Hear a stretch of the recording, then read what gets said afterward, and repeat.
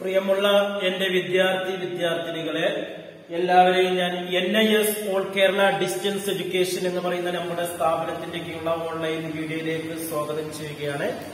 ഇന്ന് ഞാൻ നിങ്ങൾക്ക് മുമ്പിൽ പ്രസന്റ് ചെയ്യുന്നത് N I S plus two എക്കണോമിക്സിന്റെ examination important പരീക്ഷയ്ക്ക് ഏറ്റവും കൂടുതൽ മാർക്ക് ചോദിക്കുന്നത് രണ്ടാമത്തെ ടെക്സ്റ്റ് ബുക്കിൽ നിന്നാണ് ആ രണ്ടാമത്തെ ടെക്സ്റ്റ് ബുക്കിൽ നിന്നാണ് നമ്മൾ ഇന്ന് ക്ലാസ് അവതരിപ്പിക്കുന്നത്.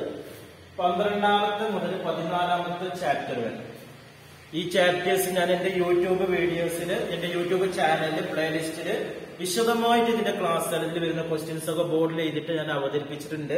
ചാനലിൽ കയറി കഴിഞ്ഞാൽ നിങ്ങൾക്ക് ക്ലാസ്സുകൾ ലഭിക്കുന്നതാണ്. ഗൈഡ് ഉപയോഗിച്ചിട്ടാണ് നമ്മൾ ക്ലാസ് എടുക്കുന്നത്. ഗൈഡ് ആവശ്യമുള്ള ആളുകൾ എന്റെ വാട്സപ്പ് നമ്പറുമായി കോൺടാക്ട് ചെയ്യാം. പന്ത്രണ്ടാമത്തെ ചാപ്റ്റർ എന്ന് പറയുന്നത് introduction to the study of economics എന്ന് പറയുന്നതാണ്. സാമ്പത്തിക ശാസ്ത്രത്തിനൊരു ആമുഖം എന്ന് പറയുന്നതാണ്. സാമ്പത്തിക ശാസ്ത്രം എന്താണെന്നുള്ളൊരു ക്വസ്റ്റ്യൻ വരും. വാട്ട് ഈസ് എക്കണോമിക് സമ്പത്ത് വ്യവസ്ഥയും അത് വിതരണം ഉൽപാദനവുമായി ബന്ധപ്പെട്ട പ്രവർത്തനങ്ങളാണ്.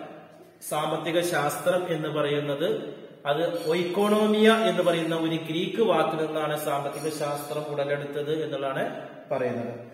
ഈ സാമ്പത്തിക ശാസ്ത്രം രണ്ട് രീതിയിലുണ്ട്. മൈക്രോ ഉണ്ട് മാക്രോ ഉണ്ട്. സ്ഥൂല സാമ്പത്തികമുണ്ട് സൂക്ഷ്മമുണ്ട് സൂക്ഷ്മം എന്നുള്ളതാണ് മൈക്രോ മൈക്രോ എന്ന് പറഞ്ഞാൽ ഓരോ ഇൻഡിവിജ്വൽ യൂണിറ്റുകളെ കുറിച്ച് പഠിക്കുന്നതാണ് മൈക്രോ സമ്പത്ത് വ്യവസ്ഥ മൊത്തമായി പഠിക്കുന്നതാണ് മാക്രോ ഇത് വളരെ ഇമ്പോർട്ടന്റ് ആയിട്ട് ക്വസ്റ്റ്യൻസ് ആണ്. Difference between micro and macro economics ചോദിക്കാറുണ്ട് വളരെ വിശദമായിട്ട് ഒരു ഉദാഹരണം പറയുന്ന ഒരു ഫോറസ്റ്റ് എടുക്കണം ഫോറസ്റ്റിനെ മൊത്തമായി പഠിക്കുന്നത് മാക്രോ എക്കണോമിക്സ് സ്ഥൂല സാമ്പത്തിക ശാസ്ത്രം. ഫോറസ്റ്റിലുള്ള ഒരു മരത്തെ കുറിച്ച് പഠിക്കുന്നതാണ് മൈക്രോ എന്നൊക്കെ നമ്മൾ പറഞ്ഞിട്ടുണ്ട്. ഇനി ഇതിൽ ചോദിക്കാൻ സാധ്യതയുള്ളത് what are the field of study of micro economics and macro micro macro ഏതൊക്കെ ഫീൽഡിലാണ് നമുക്ക് ഉപയോഗിക്കുന്നത് എന്നുള്ളതാണ് പറയുന്നത്. പല ഒരുപാട് ഭാഗങ്ങളിൽ ഇത് ഉപയോഗിക്കുന്നുണ്ട്. ദേശീയ വരുമാനം കണക്കാക്കാനും തൊഴിൽ സിദ്ധാന്തങ്ങൾ രൂപീകരിക്കാനും ധനപരമായ സിദ്ധാന്തങ്ങൾ പൊതു നിലവാരം വ്യാപാര ചക്രങ്ങൾ സാമ്പത്തിക വളർച്ച കണക്കാക്കാൻ വിതരണ സിദ്ധാന്തം അന്താരാഷ്ട്ര വ്യാപാരം ഇങ്ങനെയുള്ള എല്ലാ മേഖലകളിലും ഇത് ഉപയോഗിക്കുന്നുണ്ട്. അതേപോലെ തന്നെ what is the significance study of macro econo macro എക്കണോമിക്സിന്റെ പ്രാധാന്യം എന്തൊക്കെയാണെന്നതാണ്. സമ്പദ് വ്യവസ്ഥ മൊത്തമായി പഠിക്കുന്നതാണ്. അത് ദേശീയ വരുമാനമായാലും മൊത്തം ഉൽപാദനമായാലും മൊത്തം ഉപഭോഗമായാലും അതേപോലെ തന്നെ പൊതുനിലവാരം ഗവൺമെന്റ് ചെലവ് ഇതൊക്കെ ഇതിൽ പഠിക്കുന്നുണ്ട്.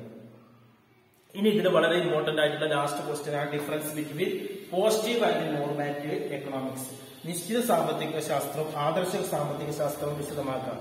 പോസിറ്റീവ് എക്കണോമിക്സ് ഇപ്പൊ നിലവിലുള്ള സ്ഥിതി വിവര കണക്കുകളും വസ്തുവകളുടെ വെളിച്ചത്തിൽ സാമ്പത്തിക വിശകലനം നടത്തുകയാണ് ഈ പോസിറ്റീവ് എക്കണോമിക്സ് എന്ന പേരിൽ അറിയപ്പെടുന്നത്. ഉദാഹരണമായി ആസൂത്രണം സോഷ്യലിസ്റ്റ് സമ്പസ്ഥയിലെ പ്രശ്ന പരിഹാര സംവിധാനം. എന്താണ് ആസൂത്രണം? അത് എങ്ങനെ പ്രവർത്തിക്കുന്നത് എന്ന് മാത്രം വിശകലനം ചെയ്യുന്നതാണ് ആദർശ സാമ്പത്തിക ശാസ്ത്രമായിട്ട് പറയുന്നത് ഇനി പതിമൂന്നാമത്തെ ചാപ്റ്ററാണ് സെൻട്രൽ പ്രോബ്ലംസ് ഓഫ് എക്കണോമി. ഒരു സമ്പദ് വ്യവസ്ഥയുടെ കാതലായിട്ടുള്ള പ്രശ്നങ്ങൾ എന്തൊക്കെയാണെന്നുള്ളത് ചോദിക്കുന്നുണ്ട് അല്ലെ? ഇപ്പൊ നമ്മുടെ ഇന്നത്തെ വലിയ വിഷയം എന്താണ്? മനുഷ്യന്റെ ആവശ്യങ്ങൾ. Human wants are unlimited but resources are limited മനുഷ്യ ആവശ്യങ്ങൾ അപരിചിതമാണ്. നമുക്ക് എത്ര കിട്ടിയാലും തികയില്ല. ഒന്ന് നിറവേറ്റുമ്പോൾ അടുത്തതുമാണ് കോടിക്കണക്കിന് ആസ്തി ഉണ്ടായാലും നമുക്ക് തികയില്ല. മനുഷ്യന്റെ സ്വഭാവം അങ്ങനെയാണ്. അപ്പൊ ഇനിയും ഇനിയും ഉണ്ടാക്കണം എന്നുള്ള ചിന്തയാണ്.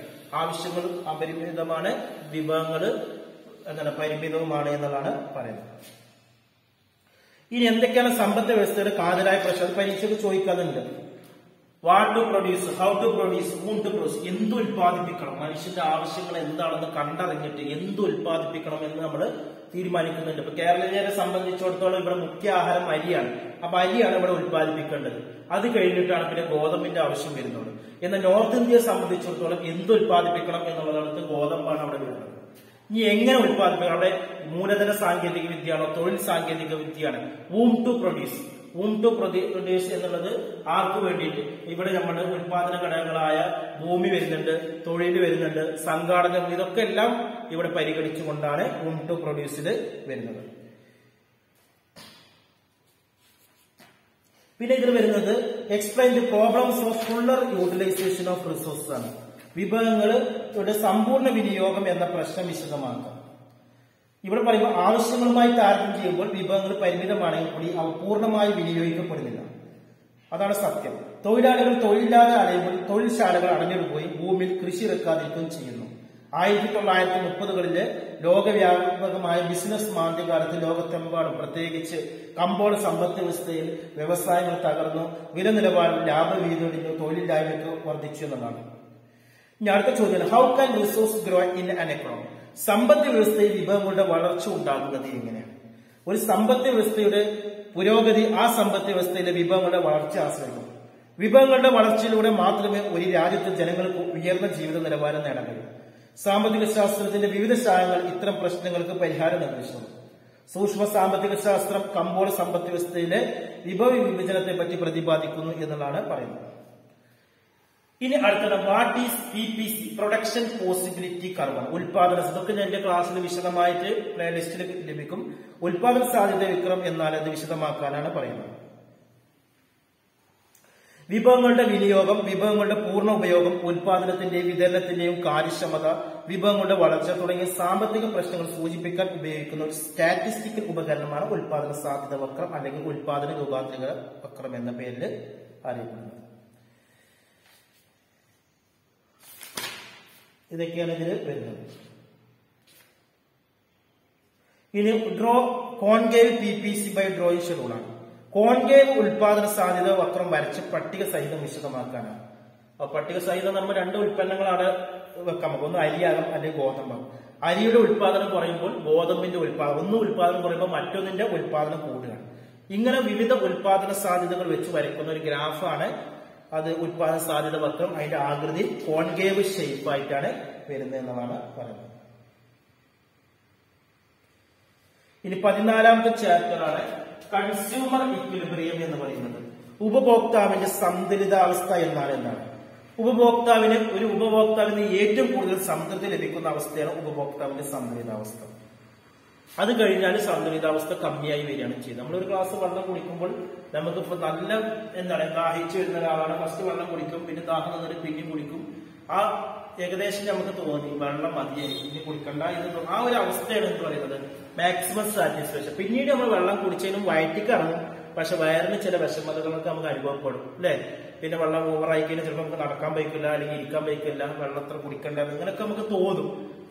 ഭക്ഷണത്തിന്റെ കാര്യം അങ്ങനെ തന്നെയാണ്. ഇനി explain the relation between total utility and marginal utility മൊത്തം ഉപയുക്തയും സീമാന്ത ഉപയുക്തവും തമ്മിൽ വ്യത്യസ്തം ഉപയുക്ത എന്ന ആശയം ആദ്യമായി ആവിഷ്കരിച്ചത് സ്റ്റാൻലി ജെമോൻസ് ആണ്. ഒരു ഉപഭോക്താവിന്റെ ആവശ്യത്തെ തൃപ്തിപ്പെടുത്താൻ ഒരു സാധനത്തിനോ സേവനത്തിനോ ഉള്ള ശേഷിക്കാണ് ഉപയുക്തത എന്ന് പറയുന്നത്. ഒരു സാധനത്തിന്റെ ചോദനത്തിന്റെ നിർണായക ഘടകം ഉപയുക്താണ് ഒരു പ്രത്യേക സാധനം ഒരു നിശ്ചിത കാലയളവിൽ ഉപയോഗിക്കുന്നതെന്ന് ഉപഭോക്താവിന് ലഭിക്കുന്ന മനഃശാസ്ത്രപരമായിട്ട് സമ്പൂർണമായി ലഭിക്കുന്ന മൊത്തം ഉപയുക്തത എന്ന് പറയുന്നത്. ഇത് യൂട്ടിലിറ്റി എന്നുള്ള യൂട്ടിൽ എന്ന അളവുകളാണ്. സീമാന്ത ഉപയോക്ത അല്ലെങ്കിൽ മാർജിനൽ യൂട്ടിലിറ്റി എന്നാൽ ഉപയോഗിക്കുന്ന അവസാനത്തെ യൂണിറ്റിന് ലഭിക്കുന്ന സംതൃപ്തിയാണ് എന്ന് പറയുന്നത്. ഇനി ഇതിൽ ചോദിക്കാൻ വളരെ ഇമ്പോർട്ടന്റ് ആയിട്ടുള്ള ഒരു ചോദ്യമാണ്. Explain the law of diminishing marginal utility. അപജയ സീമാന്ത ഉപയുക്തത എന്ന് പറയുന്നത്. എന്താണ് അപചയ സീമാന്തം? ഒരു ഉപഭോക്താവ് ഒരു ഉൽപ്പന്നം ഉപയോഗിക്കും തോറും അയാൾക്ക് ഒരു മാക്സിമം ലെവലിൽ എന്ത് ചെയ്യുന്നുണ്ട്? സംതൃപ്തി ലഭിക്കുന്നുണ്ട്. പിന്നെ സംതൃപ്തി കുറഞ്ഞ് കുറഞ്ഞ് നെഗറ്റീവായി അപജയം സംഭവിക്കണം അതിനാണ് പറയുന്നത് അപജയ സീമാന്ത ഉപയുക്ത നിയമം എന്ന പേരിൽ അറിയപ്പെടുന്നത് പിന്നെ ഇതിൽ ചോദിക്കാൻ സാധ്യതയുള്ളത് അപജയ സീമാന്ത നിയമത്തിന്റെ സങ്കല്പങ്ങൾ എന്തൊക്കെ? എന്തൊക്കെ അസംഷൻ പദാർത്ഥത്തിന്റെ വിവിധ യൂണിറ്റുകളുടെ വലുപ്പം ആകൃതി മേന്മ എന്നീ കാര്യങ്ങൾ ഓരോ തരത്തിലുള്ളവയാണ്. ഉപഭോഗ തുടർച്ചയായിട്ടുള്ളതാണ്. അതായത് പദാർത്ഥത്തിന്റെ രണ്ട് യൂണിറ്റുകളുടെ ഉപയോഗം തമ്മിൽ ഇടവേളയില്ല എന്നതാണ് പറയുന്നത്. ഇനി എന്താണ് ഇൻഡിഫറൻസ് കർവ് എന്നുള്ളത്? അതിന്റെ പ്രോപ്പർട്ടീസ് ഇൻഡിഫറൻസ് കർവിന്റെ സവിശേഷതകൾ എന്തൊക്കെയാണ്? ഒരു ഉപഭോക്താവിന് ഒരേ സംതൃപ്തി നൽകുന്ന രണ്ട് പദാർത്ഥങ്ങളുടെ വിവിധ സംയോജനങ്ങളെ പ്രതിനിധീകരിക്കുന്ന വക്രമാണ് എന്ന് പറയുന്നത്. സമസംതൃപ്തി അല്ലെങ്കിൽ നിസ്സംഗത വക്രം എന്ന് പറയുന്നത്. ഇതിന്റെ പ്രത്യേകത എന്ന് പറഞ്ഞാൽ രണ്ട് പരസ്പരം ഛേദിക്കുന്നില്ല. അതേപോലെ തന്നെ എക്സ് അക്ഷത്തും വൈ അക്ഷത്തിനും കൂട്ടിമുട്ടുന്നില്ല. അങ്ങനെയുള്ള പ്രത്യേകതകളൊക്കെ അതിൽ വരുന്നുണ്ട്. ഓക്കെ അങ്ങനെയുള്ള കാര്യങ്ങളാണ് ഇതിൽ വരുന്നത്. ഇനി പതിനഞ്ചാമത്തെ ചാപ്റ്റർ മുതൽ അടുത്ത വീഡിയോയിൽ ചെയ്യും. ഞാൻ ഇപ്പൊ പറഞ്ഞ ഈ മൂന്ന് ചാപ്റ്ററും വളരെ വിശദമായിട്ട് ഓരോരോ ചാപ്റ്ററായിട്ട് നമ്മുടെ പ്ലേലിസ്റ്റിലുണ്ട് അത് കേൾക്കുക പിന്നെ എല്ലാവർക്കും നല്ല റിസൾട്ട് ഉണ്ടാകട്ടെ. പ്രത്യേകിച്ച് രണ്ടായിരത്തി ഇരുപത്തിരണ്ട് നവംബർ മ- മാസത്തിൽ എക്കണോമിക്സ് പരീക്ഷ എഴുതുന്നവരും രണ്ടായിരത്തി ഇരുപത്തി മൂന്ന് മാസത്തിലൊക്കെ വർഷത്തിലൊക്കെ പരീക്ഷ എഴുതുന്നവർക്കൊക്കെ നമ്മുടെ വീഡിയോസ് വളരെ ഉപകാരപ്രദമാവും. Okay thank